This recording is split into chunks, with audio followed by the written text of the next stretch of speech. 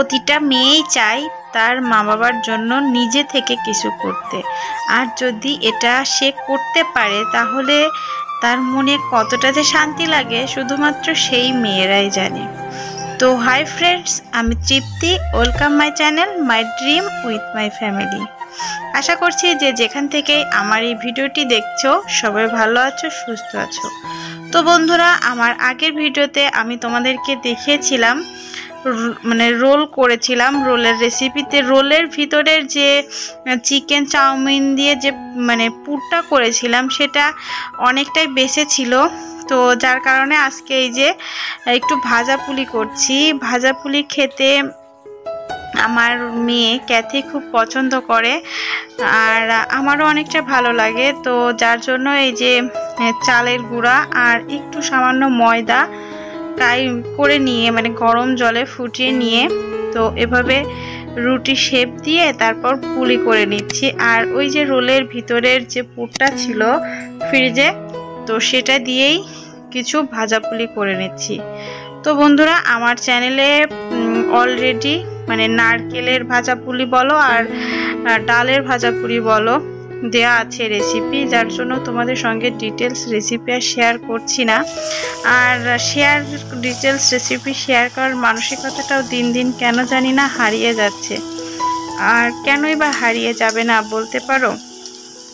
কারণ আমাদের মানে আমাদের ভিডিও করার উদ্দেশ্য কি? যে আমরা ভিডিওর মাধ্যমে মানুষকে কিছু শেখাবো, মানুষের ভিডিওটা দেখে ভালো লাগবে, এখান থেকে সে কিছু পজিটিভ এনার্জি পাবে, যেটা তার মানে দৈনন্দিন জীবনে বলো, সংসারে বলো, যেটা অনেক কাজে লাগে। তো সেই চেষ্টা করেই ইউটিউবে কাজ করছি বাট আমাদের এই চেষ্টাটাকে ইউটিউব কেন জানি না তেমন একটা দাম দিচ্ছে না। তো যার জন্য প্রত্যেকটা রেসিপি আর সেভাবে শেয়ার করার মানসিকতা হারিয়ে ফেলছি। আগে তোমাদের সঙ্গে অনেক অনেক রকম রেসিপি আমি শেয়ার করেছি অলরেডি আমার ভিডিওতে। কিন্তু দেখো আমার সেসব ভিডিওতে ভিউজ কেমন? অথচ মানে কি বলব, অনেকের ভিডিও আছে যেখানে দেখার মতো তেমন কিছু নেই, শেখার মতো তেমন কিছু নেই। শুধু আছে ন্যাকামো তারপর মিথ্যা কথা, তারপর আর কি বলব, যাই হোক, তারপরেও মানে তাদের মানে খারাপ কিছু শেখার কিছু নেই। তো সেগুলোই মানুষ দেখছে। তো আর কিছু বলছি না। তো আমার আজকের ভিডিওটা আশা করব পুরো ভিডিওটা দেখবে। আর দেখো মানে পুলি পিঠার যে ভিতরটা, ভিতরটাও কত সুন্দর হয়েছে।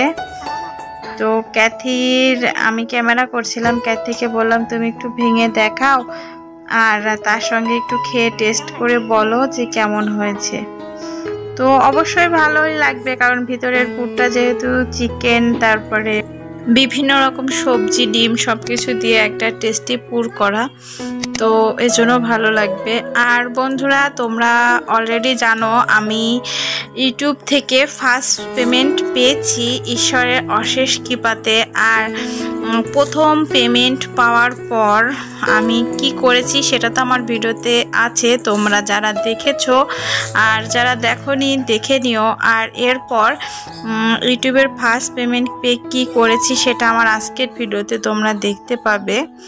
আর দেখো গাছ থেকে কি সুন্দর পাকা টসটসে আম পড়েছে। তো পাখি একটু মানে ঠোকর দিতে আমটা পড়ে গেছে। তো এরকম নিজের গাছের পাকা টসটসে আম খেতে কার কার ভালো লাগে অবশ্যই কমেন্ট করে জানিও। আর আমাদের অনেকগুলো আম গাছ আছে, তার মধ্যে এই যে আম গাছ থেকে যে আমটা পড়েছে, এই আমগুলো কিন্তু অনেক মিষ্টি হয় খেতে। আর এই যে সাইডের বাইরে যেসব আম গাছগুলো দেখছ, ওই সব গাছের আম এখনও পাকেনি। দুইটা গাছের আম শুধু সবে মাত্র একটু পাকা লেগেছে। তো এই তো মানে বিভিন্ন গাছ পালা দিয়ে মানে পুরো বাড়িটাই ঘেরা। আর আজকে এই যে শুক্রবার আজকে দিনটাতে মানে এত, এতটা যে ব্যস্ততায় মানে গিয়েছে কি বলব? একেতে একদিকে বাজার করে এনেছে, সেগুলো গোছানো, তারপর হচ্ছে মাছ নিয়ে এসেছে, তারপর সেগুলো রান্না, গোছানো, কাটা সব কিছু মিলিয়ে প্রচুর ব্যস্ততার মধ্যে গিয়েছে দিন, দিনটা। আর এই যে দেখতে পাচ্ছ, ইলিশ মাছ, আর পবদা মাছ, আর এই মাগুর মাছ আছে এখানে। তো আমার মা অসুস্থ তোমরা অনেকেই জানো। তো যার জন্য আমার মাকে আমি এই যে একটু ইলিশ মাছ আর মাগুর মাছ পবদা মাছ এটা একটু রান্না করে পাঠাবো। তো এখন আমার মা তো আমাকে অনেক দিন ধরে বলছে যে, তুই একটু আয়, এসে কটা দিন থাক। তো আসলে আমরা ইচ্ছা করলে অনেক কিছু হয় না। আর এই যে মিষ্টির প্যাকেটটা দেখতে পাচ্ছ, এটা এটাও আমি মানে ফার্স্ট পেমেন্ট পেয়েছি। তো আমার নিজের ইনকামের টাকায় প্রথম মানে মা বাবার জন্য। তো যার জন্য আমার এই পৃথিবীতে আসা, তাদের জন্য আমি এই মিষ্টিটা কিনেছি। আমার পক্ষে সম্ভব নয় এখন সরাসরি যাওয়ার।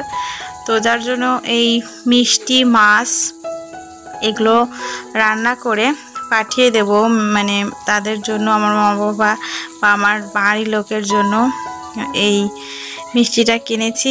আর এই যে এখন দেখতে পাচ্ছ, ইলিশ মাছ রান্না করব। যার জন্য লবণ, হলুদ মাখিয়ে নিয়েছি আর সবজি কেটে নিয়েছি।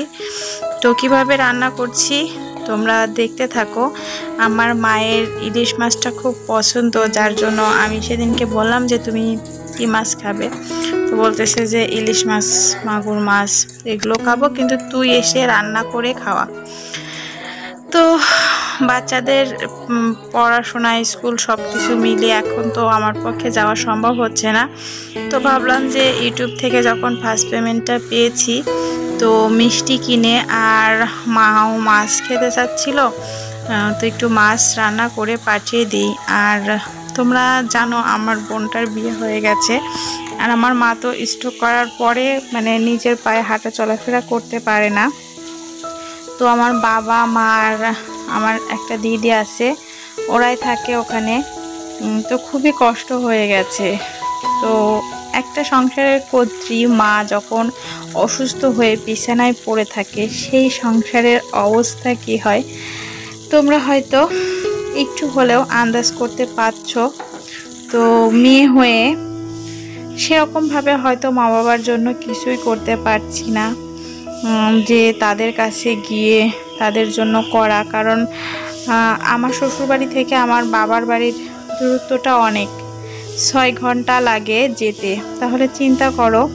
আর সেখানে বাচ্চাদের প্রতিনিয়ত মানে স্কুল সব কিছু মিলিয়ে ঘন ঘন যাওয়াও আমার পক্ষে সম্ভব হয় না। আর বাসে আমারও যেমন বমি হয়, বাচ্চাদেরও প্রচুর বমি হয়। তো যার কারণে ইচ্ছা থাকলেও অনেক কিছু করতে পারি না। তো ভাবলাম যে যাদের জন্য আমি এই পৃথিবীতে এসেছি, তো আমি যখন আজকে নিজের রোজগার কিছু করতে পেরেছি, যতটুকুই করি না কেন, তাদের একটু মুখে একটা দিনের জন্য তা আমি হাসি ফোটাতে পারি। তো যার কারণে এই যে মায়ের জন্য রান্না করছি। মা বলতে মা বাবা ওরা সবাই খাবে।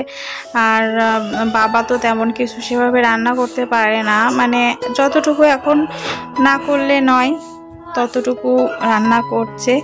তো ভাবলাম যে একটা দিন আমি কিছু রান্না করে, একটু বেশি করে রান্না করে ফ্রিজে রেখে পাঠিয়ে দিব। তারপর না হলেও দুইটা দিন ওদের এটাতেই খাওয়া দাওয়া হয়ে যাবে। তো বন্ধুরা, তোমাদের সঙ্গে কথা বলতে বলতে অনেকগুলো কাজই হয়ে গেল। ইলিশ মাছ অলরেডি রান্না হয়ে গেল। তারপরে হচ্ছে এই যে মাগুর মাছ কাটা, তারপরে আরও মানে যে কি বলে, পবদা মাছ কাটা, তারপরে একটা মুরগি নিয়ে এসেছিল। বাচ্চাদের চিকেন ফ্রাই করার জন্য সেটা হয়ে গেল। আর তারপর এখন অবশেষে এই যে মাগুর মাছ আর পবদা মাছটা রান্না করছি। আর বাকি যে মাছগুলো আছে, সেগুলো তো ফ্রিজে তুলে দেয়া হয়ে গেছে। তো দেখো অলরেডি আমার এই যে সমস্ত মাছ রান্না হয়ে গেছে। এটা হচ্ছে টমেটো আর কাঁচা লঙ্কা, কাঁচা পেঁয়াজ দিয়ে পবদা মাছের ঝোল করেছি। আর এখানে হচ্ছে আলু দিয়ে আর মাগুর মাছ। হ্যাঁ এটা হচ্ছে মাগুর মাছের ঝোল করেছি। এটা পেঁয়াজ বাটা দিয়ে আর এখানে হচ্ছে আলু, বেগুন, পটল দিয়ে, কালিজিরা আর জিরা সম্ভরা দিয়ে ইলিশ মাছের ঝোল করেছি। আর এগুলো এখন হচ্ছে বাটিতে তুলে রাখব। ওই যে তোমাদেরকে বললাম যেতে ছয় ঘণ্টা মতো টাইম লাগে, তো এতটা সময় তো নষ্ট হয়ে যেতে পারে। যার জন্য আগের দিন দুপুরে আমি রান্নাটা করে সন্ধ্যার দিকে এখন বক্সে করে আর টিফিন ক্যারিয়ারে করে ডিপ ফ্রিজে রেখে দেব। সারা রাতে মানে এই যে রান্না মানে তরকারিগুলো, এগুলো বরফ হয়ে থাকবে। আর পরের দিন সকালেই আবার এই যে মানে আমাদের একটা কৌশিক কাকা হয়, উনি ওখানে চাকরি করে জব করে। তো তার কাছ দিয়েই পাঠাবো। সে নিয়ে গেলে বাবা ওখান থেকে নিয়ে যাবে। তো এগুলাই যে আমার এখন টিফিন কিটার বক্সের করা হয়ে গেছে। এখন ওগুলো হচ্ছে ফ্রিজে ঢুকিয়ে দেব। আর সন্ধ্যার দিকে রাত্রেবেলা মনে হচ্ছিল যে মা তো খুব পায়েস পছন্দ করে, তো মায়ের জন্য একটু পায়েস করব। তো বন্ধুরা, তোমাদেরকে বলি যে আসলে আজকে আমার মানে ভিতরে, মনের ভিতরে ফিলিংসটা কতটা ছিল। আমার মা যখন সুস্থ ছিল, ভালো ছিল, আমাদের জন্য কতটা করেছে। তো আজকে আমি আমার মা, বাবা বা সবার জন্যই একটু হলেও কিছুটা করতে পেরে মানে কতটা যে আমার ভালো লাগছে, তো কি বলব, এই ভালো লাগাটা আমি তোমাদের সঙ্গেও শেয়ার করলাম। তোমাদের কি মতামত সেটা অবশ্যই কমেন্টে জানিও। আর মানে সে অসুস্থ। তোমাদের কাছে একটা রিকোয়েস্ট কি জানো? মানে তার সুস্থতার জন্য আমরা বলো, বাবা বলো, সবাই কিন্তু প্রচুর চেষ্টা করা হচ্ছে সে যেন নিজের পায়ে নিজের কাজগুলো করতে পারে। তো তোমাদের কাছে রিকোয়েস্ট প্লিজ তোমরা যে যেখান থেকে আমার ভিডিওটি দেখছ, আমার মায়ের জন্য তোমরা একটু ঈশ্বরের কাছে প্রে করো। যাতে সে খুব তাড়াতাড়ি সুস্থ হয়ে যায়, নিজে নিজের কাজগুলো করতে পারে। তো বন্ধুরা, এখানে এই যে দেড় কেজি, দুই কেজি মতো দুধ, গরুর লিকুইড দুধ, চাল করে এর মধ্যে দেখতেই পেলে দুটো তেজপাতার আর তিনটা সম্ভবত এলাচ দিয়ে দুধটা বেশ ফুটিয়ে ঘন করে নিব। আর ঘন হয়ে আসলে এর মধ্যে এই যে আগে থেকে ধুয়ে রাখা যে পোলায়ের চাল, এটা দিয়ে নেড়ে নেড়ে চাল সেদ্ধ হওয়া পর্যন্ত অপেক্ষা করব। তো চাল যখন সেদ্ধ হয়ে যাবে, ঠিক সেই পর্যায়ে এর মধ্যে চিনি অ্যাড করে দিব। তো চাল সেদ্ধ হওয়ার আগে কিন্তু মানে পায়েসে যদি আমরা আগেই মিষ্টি দিয়ে দিই, তাহলে চালটা ভালোভাবে সেদ্ধ মানে হতে চায় না। যার কারণে চালটা ভালোভাবে সেদ্ধ হয়ে যাওয়ার পর চিনি দিয়ে বেশ মাখা মাখা ঘন ঘন হলে নামিয়ে নিতে হবে। আর এই পায়েসটা কিন্তু অপূর্ব, অদ্ভুত মানে স্বাদ হয়। যেহেতু পোলায়ের চালের তারপরে মানে বাড়ির দুধ, চিনি সব কিছু মিলিয়ে এই পায়েসটা খেতে অসাধারণ লাগে। আর আমার মা পায়েসকে মিষ্টি অন্ন বলে। তোমাদের মধ্যে কেউ কি মানে এটা জানো, পায়েসের আর একটা নাম কিন্তু মিষ্টি অন্ন। তো তোমরা যদি কেউ কখনো শুনে থাকো, তো কমেন্ট করো। এই যে অর থেকে আবার আরেকটা বাটিতে দিচ্ছি, আর ওই টিফিন কেয়ারে তুলে রেখেছি। ওটাও নর্মাল ফ্রিজেই রেখে দেব। তো সারা রাত থাকবে। থাকার পরে যে পরের দিন সকালে উঠে আমি যে টিফিন কেরিয়ার গুছিয়ে সুন্দরভাবে মানে বেঁধে মানে প্যাকেট করে বেঁধে আমার মা বাবার কাছ উদ্দেশ্যে পাঠালাম। তো বন্ধুরা, আমার তো খুব খুব, খুবই ভালো লাগছে যে আমি মানে তাদের জন্য নিজে কিছু, নিজের ইনকামে নিজে কিছু করতে পেরেছি। তো আমি মনে করি প্রত্যেকটা সন্তানেরই তারা মা বাবার জন্য কিছু করতে পারলে অনেকটা ভালো লাগে। তারা আমাদের জন্য কতটা কতটা করেছে মানে করে, কি বলব কিন্তু তাদের জন্য মানে আমরা যদি যত মানে যতটুকুই করি না কেন সেটা কিন্তু কিছুই না। তো বন্ধুরা, আজকে আমার পুরো ভিডিওটা তোমরা যারা দেখেছ তাদেরকে অনেক ধন্যবাদ।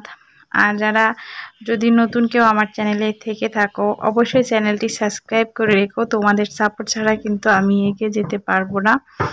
আর ভিডিওটি ভালো লাগলে অবশ্যই লাইক কমেন্ট শেয়ার